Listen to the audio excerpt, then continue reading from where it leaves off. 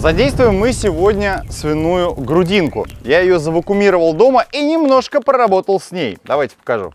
Вот так, смотрите, у нее есть особенность. Она с ребрами уже. То есть это сверхсочное нечто получится у нас. Самая главная задача сделать вот из этого красивую хрустящую корочку. Обратите внимание, I'm your Venus, I'm your fire, your desire. Здесь Лешка прошелся вот этим аппаратом. Давайте я покажу, вдруг кто-то не знает, как это делать. Вот мы взяли, проходим вот так вот и весь э, волосяной покров убираем. Здесь его уже нет, я просто показал принцип. Я это сделал все дома. Что мы с этим делаем дальше? Очищаем. Можно, опять же, и станком это сделать. Это абсолютно не шутка. Эта штука у нас 1,8 э, килограмма. Нарезаем мы следующим образом. Берем длинный нож. Желательно хорошо, конечно, э, заточенный. И делаем вот такие вот надрезы.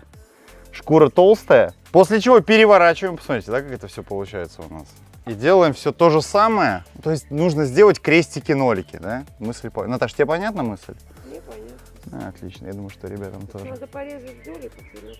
Ну, не порезать, а... Хотя здесь, кстати, порезать. Кстати, вот в какой-то веке порезать именно в тему. Результат получается следующим. На самом деле это очень напоминает, когда мы с вами готовим утиную грудку. Первая подготовка закончена. Ребята, всем здравствуйте! Лешка, как всегда, с вами сегодня немножко пивной кухни, конечно, да, но по сути она подойдет к любым напиткам, даже к морсу, к квасу или что вам больше нравится.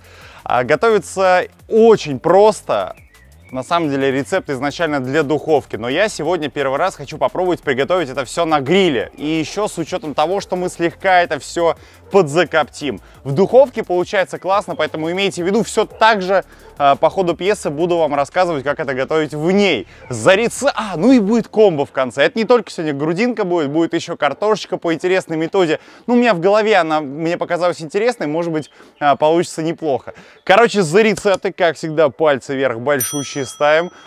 Ну, либо худощавые дизлайки. Ну, мы все-таки с вами за нормальные, да? Нормальные, толстые, хорошие, пальцы вверх. Не забываем про наши соцсети, VK, Дзен и, разумеется, любимая тележка. Погнали! Теперь специи. Вот здесь очень интересный момент. Смотрите, в чем это мариновать? Я в описании оставлю, что здесь, потому что перечислять вам это сложно. Я не буду врать, я купил готовую смесь, мне она очень нравится. Вот, например, вот эта смесь, это черный перец, куркума и цедра апельсина. Запах у нее просто бомбический, я вам серьезно говорю. А вот это вот э, у нас острая версия. Здесь каенский перец, паприка, э, немножко майорана и разных трав. Но я на самом деле в, в содержании, в содержании, да, в описании все оставлю. Дальше. Единственная специя, которая мне еще понадобится, это розмарин. Вот так вот скидываем сюда.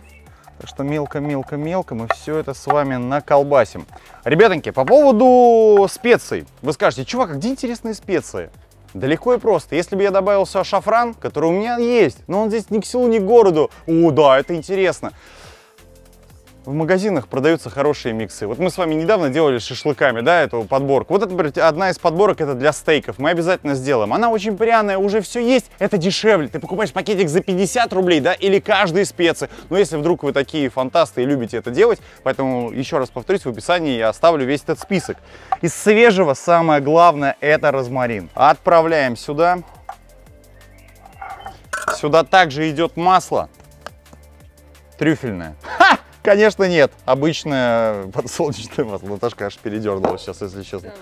Передернулась? Вот это шутки. Так, э, перемешиваем. На мой личный взгляд, масло помогает разойтись специями. Для кого-то оно стопорит, для кого-то нет. Не знаю, у меня все хорошо в этом плане. Тем более оставлять мы будем 12 часов. Похоже на аджику, да, жидкую как будто бы очень ароматный. Апельсин здесь тема. Да, если не найдете вдруг апельсин э, перец, это делает и кот они делают, и камис делает, чтобы вы понимали, да? Просто возьмите цедры слегка, потрите немножко. Здесь она просто сушеная, она очень ароматная. Набрасываем. Желательно, чтобы маринад попадал и э, в прорези, да, так называемые. Ну, не знаю, может неправильно, конечно. Здесь также соль, да, присутствует в специях, поэтому дополнительно я не добавляю. Но смотрите, мы сверху с вами будем делать еще один маринад во время приготовления, да, и у нас пройдут другие вкусы. Здесь не надо вот э, в этом смысле сразу все накидывать, потому что в определенной температуре работает одно. Что такое-то хрень, короче, начал нести. В общем, вы меня поняли. Старого понесло. Это после дошираков, наверное, да? Слушайте, я совсем забыл сказать. С другой стороны у нас находится пленка. Мы ее с вами обязательно убираем. Она очень плохо здесь убирается. Но сделать это обязательно. Можно подцепить ножом, а можно вот так вот фигачить руками, и будет нам с вами счастье. Таким образом, если ее не снять, просто маринад не пройдет, и будет немножко бестолково. Так вот через пень-колоду, но мы сейчас это с вами сделаем.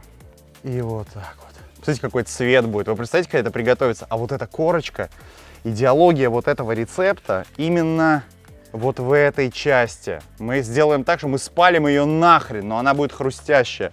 И вот эти места мы тоже не забываем, не забываем с вами пройтись. В общем, с кусочком обращаемся, как э, настоящий массажист в Таиланде. Да, рельсы-рельсы, шпалы-шпалы. Ехал поезд, опоздал и просыпался горох. Смотрите, как классно выглядит уже. ну, как уже. Кстати, думаю, что из этого сала неплохой... Сало на костях нет, это не очень звучит. Ну вот, поэтому продолжаем. Что с мясом происходит дальше? Это у нас называется пергаментная бумага. Она очень важна. Она используется для запекания, чтобы не прилипало, бла-бла-бла. Но на самом деле ее свойство очень неплохо, как обертывание. Мы ее с вами взяли, положили сюда на лист фольги. Плотно-плотно упаковали и теперь все. Осталось подождать буквально часов 12. Но это идеально. Мы с вами же идеальны. Мы оставим на ночь. У нас э, белые ночи, на самом деле, в Питере. Но мы завтра встанем и продолжим это готовить. Подготовок здесь, да, ну не особо уж прям сказать, что много, но это того стоит. Этого не надо делать. Ну вот, например, я вам сейчас покажу. Мы не стали... Я понимаю, что для рецепта мог бы и побольше приготовить. Я еще раз повторюсь. Я не человек, который вот надо кабана зажарить, да, показать. Ну это же... А что, кабана хотела поесть? То есть вот на самом деле я купил себе два кусочка, чтобы один потом дома сделать, потому что мне правда дико нравится этот рецепт. И да, ребятоньки, вот вы посмотрите, обратите внимание, какая она классная, да? Вот это вот с реберной частью. Она стоит недорого. Это стоит 250 рублей килограмм. На рынок приезжаете, знакомитесь на рынке с хорошей бабуленькой, да? И вот вы считаете уже Галкин. Нет, шучу, ребята, плохие шутки. Я не об этом. Я о том, что Черт, плохо было, мне кажется, очень плохо. Имейте в виду, что на рынке такие куски можно купить э, недорого, если это не кировский рынок, на котором очень все дорого. В, Пушки, в Пушкине все хорошо. Матвеевский, шикарный рынок, бабуленьки. И вот это вот все. Или Прохор Шаляпин, кстати, тоже подходит под эту Всем тему. Досталось. Все, ладно, ребята, завтра наконец-таки наступает 1 июня. Вы этот ролик смотрите, скорее всего, в воскресенье. И продолжим с вами химичить.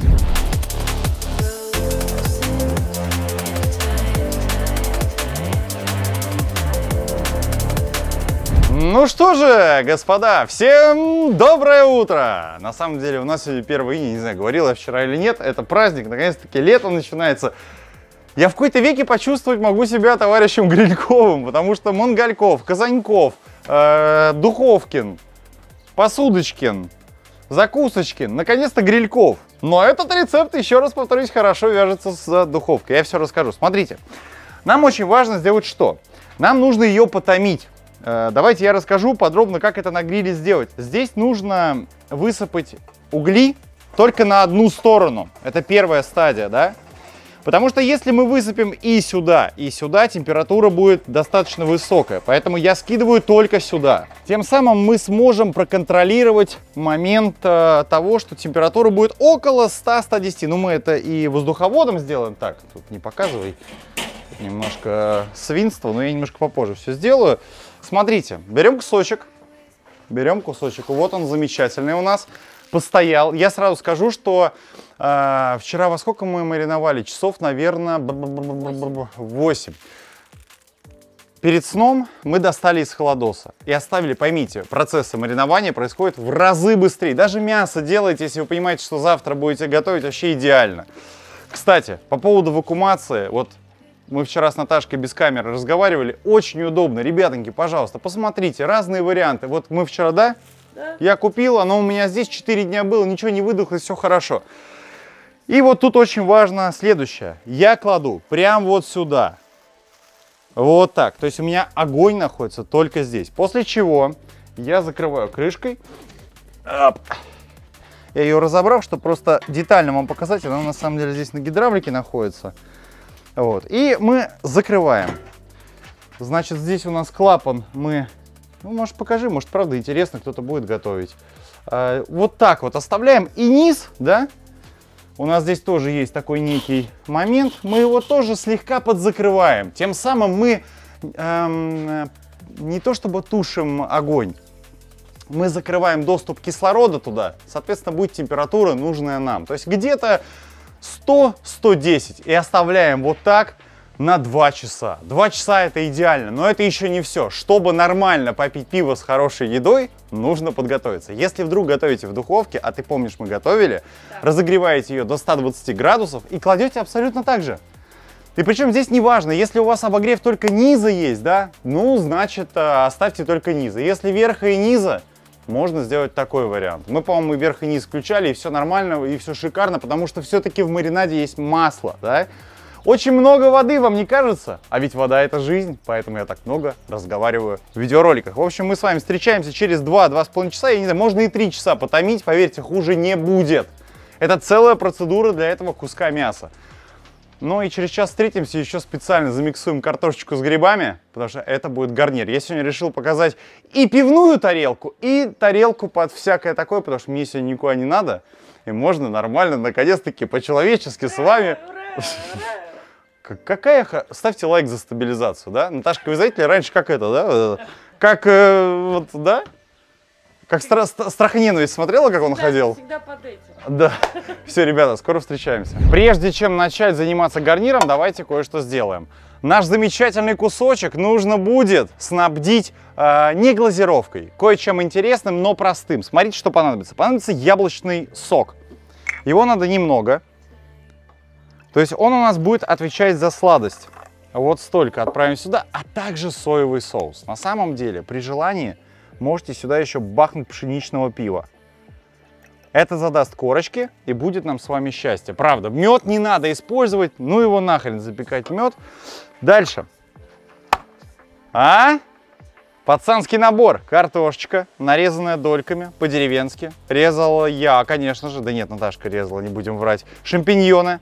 А, Важно, чтобы крупно было все нарезано. Поверьте, будет топчик хорошо. Это у нас лук.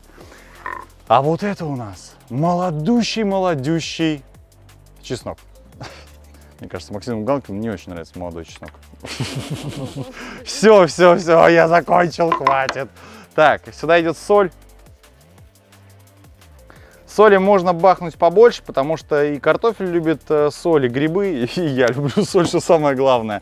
Также сюда идет немножко свежемолотого перца. Все-таки у нас это потомится минуток 30 вместе с мясом. И вот здесь есть нехватающие элементы, и вы меня спросите, что это такое? Хватит кривляться, хватит кривляться, Алексей. Пойдемте покажем вам кое-что. Короче, ну, во-первых, небольшая экскурсия по саду. Мы обязательно сделаем ее как-нибудь в рамках телеграм-сообщества, поэтому подписывайтесь обязательно. И скоро я там выложу беседку, вы вроде просили. Мы сейчас с вами будем использовать то, что растет у нас в огороде. Но прежде всего я покажу, что Наташка называет красным пистончиком, как у котика. Извини. Гоша, Но это ты сказала. У нас в, это- у нас в этом году, короче, смотрите, э, у нас в этом году, э, поближе сюда подъедь, потому что будет не видно, елочка вот эта замечательная. Это не елочка, это у нас, наверное, скорее сосна, да? Поближе. Нет, это ель. Ель, да. Покажи красный пистон. Красные шишки выползли.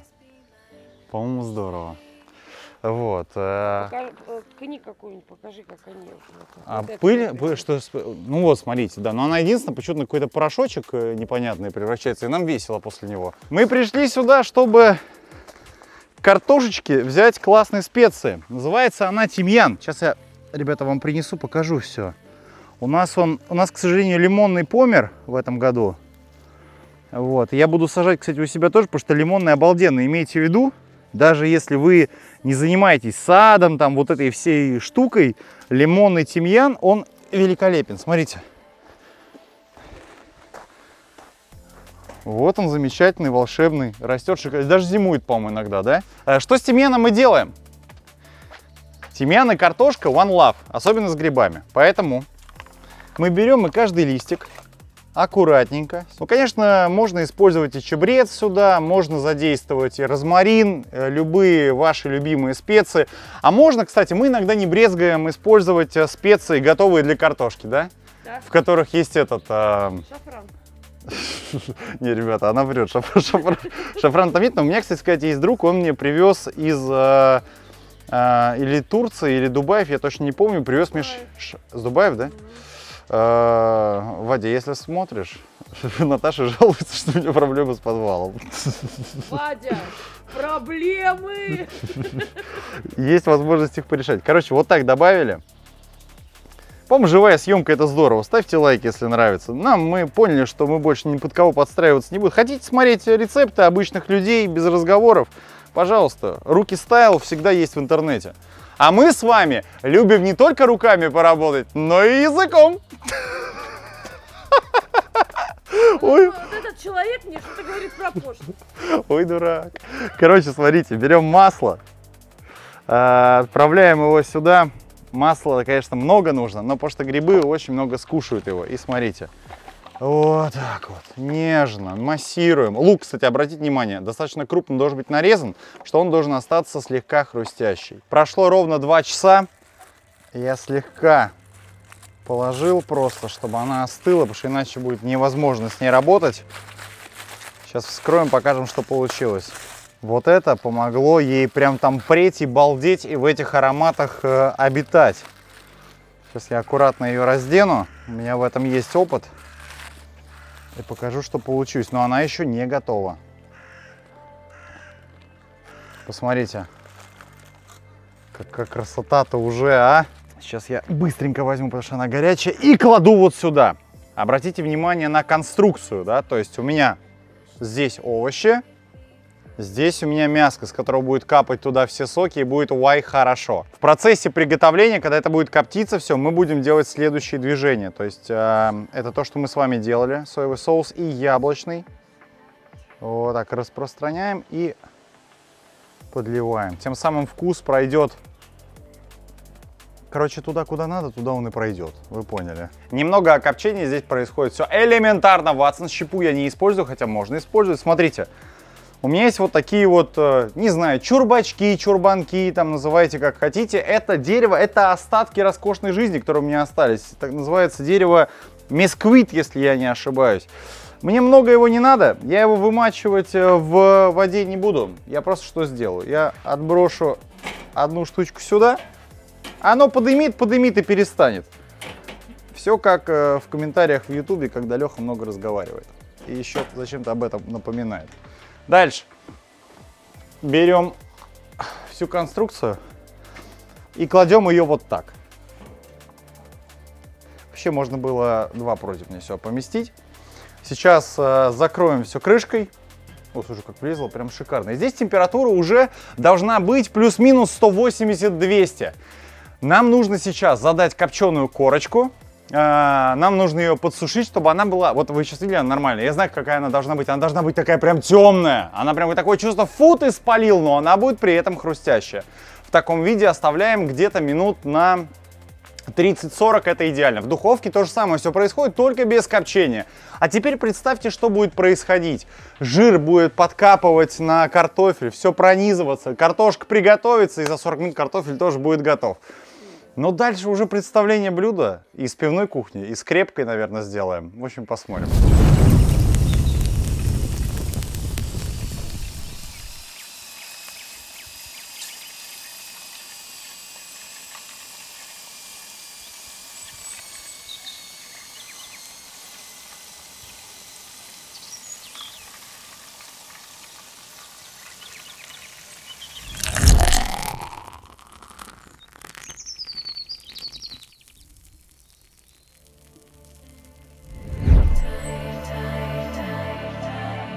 Before the doubts are setting in, wish our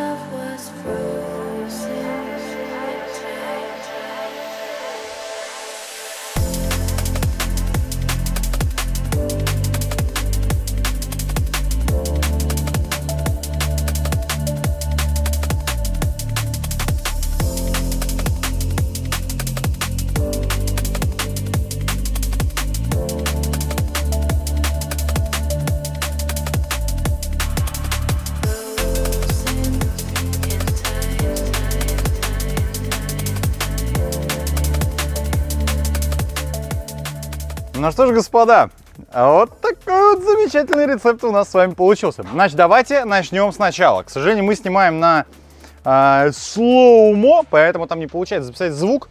Но вы же знаете, что я знатный скрипач. Здесь видно. Не знаю, как вам такая корочка, мне очень нравится. Мы, значит, смотрите, вот этот боекомплект, покажи, пожалуйста. Это предполагался к пшеничному пиву. А вот это уже совсем к другому. Итак, давайте сразу я отрежу кусочек. Я надеюсь, у нас получилось. Смотрите, как это все от кости отходит. Но это очень нежная штуковина. И корочка вот эта прям обязательно, будет хрустеть.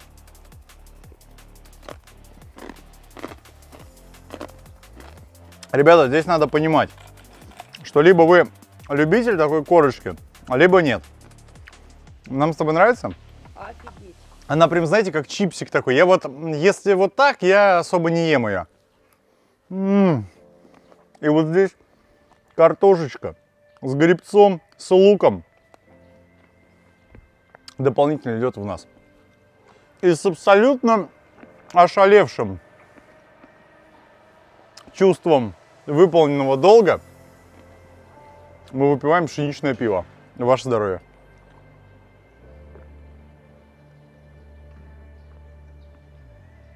Не, но меру надо знать. Пиво без э, чего-то там, деньги на ветер. Не очень люблю это выражение, но здесь очень хочется крепкого, потому что мы еще взяли капусточку. И здесь уже пошла жара фантазии, как мы это с вами видим, да? А, вот она готова, да, вы видели сочность. И вот здесь, смотрите, идеальный момент. Капустка кладется сюда, поднимается рюмочка. Ребятоньки, ваше здоровье. Я очень надеюсь, что это кто-то повторит. Это правда реально легко коннектится и для кухни, и для гриля. Но выглядит, по-моему, супер. Да? Офигенно. Очень красиво. Э, легкая к- нотка копчения здесь есть. Все, поехали. Ваше здоровье. Ну, тут грех не выпить, честно.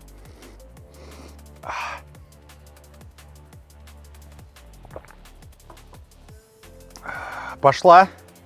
Ой, я сейчас немножко это потерял весе, поэтому надо аккуратнее с этим. Огурчик.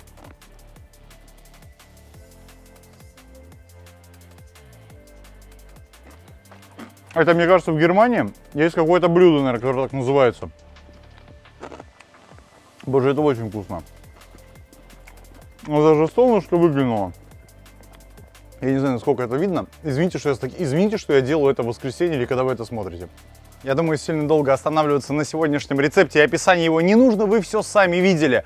Казалось бы, это вам не свиная шея, можно же и свиную шею так приготовить, да, и там просто будут соки, брызги из всех щелей лететь. Ну вот вам, легко, а вот у шеи не получится такая корочка. Это именно для тех, кто любит вот прям играть на нервах шкурки. Двойственная какая-то хрень получилась. Короче, ребятоньки, имейте в виду, рецепт очень годный. За рецепты, как всегда, жирный, палец вверх, либо худощавый дизлайк. Все прекрасно пойму. Все наши соцсети вот здесь и в описании. До вкусных встреч пока. Настоятельно рекомендую это готовить. Это очень вкусно, это, на мой личный взгляд, вкуснее, чем стейки есть из мраморной говядины. Ну согласись. Конечно. И дома легко коннектиться. Все, ребят, от души. У нас сейчас иначе солнце выпадет, и меня вообще будет не видно. Пока-пока.